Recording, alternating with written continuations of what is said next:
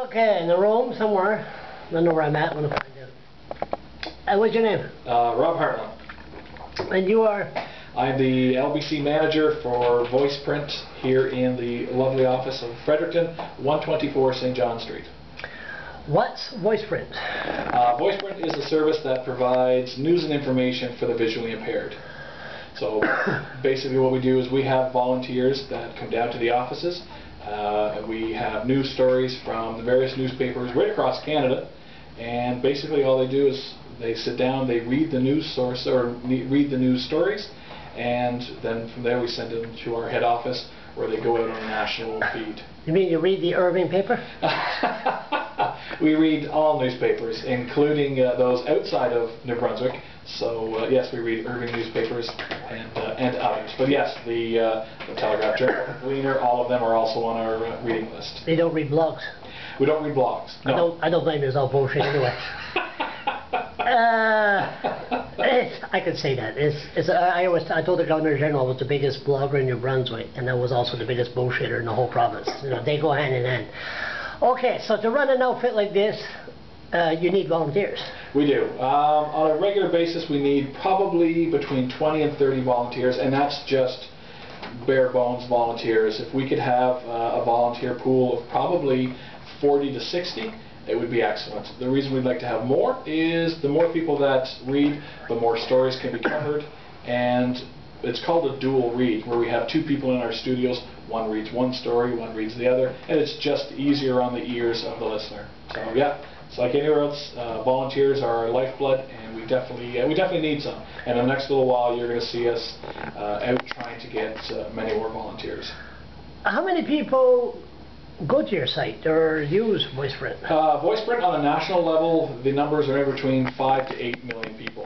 Really? Yeah, yeah. Surprisingly, it's uh, it's quite a high number. Not only those that are uh, visually impaired, but there's also our seniors, those that find the newspaper it's just too small to read, uh, those that their literacy levels aren't uh, strong enough to read the newspaper. Uh, a large percentage, uh, and it's increasing almost on a daily basis, are folks that are English second, second language.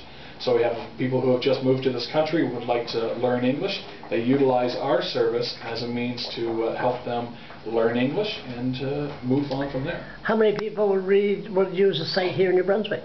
Uh, well, that's a that's a good question. I actually literally just got off the phone with head office, and that was one of the things. How do we find out which shows are popular and which ones aren't? And uh, head office is working on a way to track numbers. Right now, we can track off of our website, uh, and those numbers are great. Their numbers are probably about they say between two and three thousand people will will access the site on a uh, on a daily basis. But that's just the website. It doesn't mean how many people are accessing us uh, on the, on say, Rogers Digital Cable or Bell. Uh, and actually, uh, I'll give you uh, some information on where people can obtain information, uh, either on digital uh, cable or on their televisions or on the website. And if you get the opportunity, you can throw that in with your blog along with this. That would be great. It would really help out. Oh, it's better than Irving paper. For damn um, what does a volunteer do? a volunteer, it's really, it's quite, quite easy. An hour and a half, an hour a week. Uh, they a come week? in. Uh, yep. Uh, well, you can do it as much as you want. If you'd like to come in more than that, great. Some people come in uh, once or twice a month. Most of our volunteers uh, volunteer about an hour, an hour and a half a week. Uh, they come in. Here's an example. they'll just we have stories that are already prepared for them. We set them down. They head down into the studios. They read the stories to make a show. A show, a perfect show, is 26 and a half minutes long. That's it.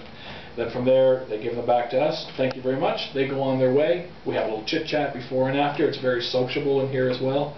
Uh, and then from there, we uh, move on, and I send stuff uh, after editing it up, and we do all that tech foolishness. But basically, a volunteer just comes in and reads stories. Well, you can't have a wimpy voice like like myself. Uh. you would be amazed how many voices uh, we can use and that's more that we can use than that we can't. Uh, so if you think that you have, like you said, a, A voice, uh, leave it up to us. Let us decide. Come on in. Uh, there's a With a, really Fre- with a French accent? Come on. uh, matter of fact, we have uh, a reader with a, a very strong French accent. Oh, really? And she is a, she's a university student. She's home right now, uh, but when she comes back in, she uh, she's re- read for us for a few months already back during the school year. So not only a strong French accent, she's also uh, has a, a visual impairment, uh, and is an excellent reader. Is a very good reader. So you know what?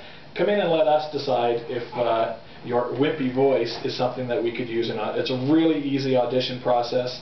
Uh, we'll set you up, takes about 10 minutes, and uh, next thing you know, you could be helping people right across the country.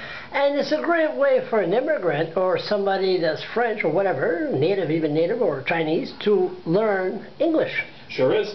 Uh, and like I said, uh, that's the that falls under the English second language category of our listeners, and it's uh, becoming quite prevalent. But you could read it they read it, and then. Uh, Well, you could, you could. I wouldn't say those that have, uh, like I said, with the audition process, Yeah. there are, there's a, a, a barrier or a boundary of just how strong an accent. Where as long as most people can understand you and you can get through the audition process, great. So I have to say once again, come on in and uh, have a little chat with myself or Nick, and we will, uh, we'll, uh, we'll show you the world of VoicePrint. Anybody wants to volunteer, what do they do?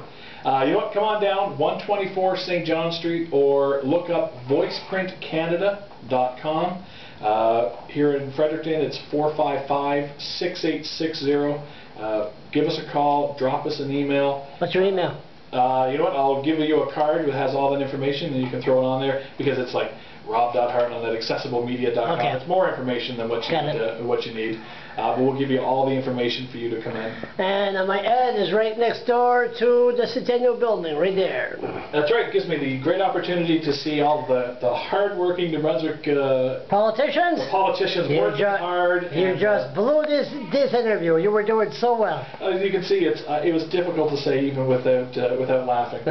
but uh, yeah, it's a it's a it's a great view. If the tree pushed over a little more, I wouldn't have to see any of the building. I know, I know. Listen, I'll uh, give it a shot on on on the blog. Perfect. All right. Talk to you later. Okay, buddy. Thanks a lot.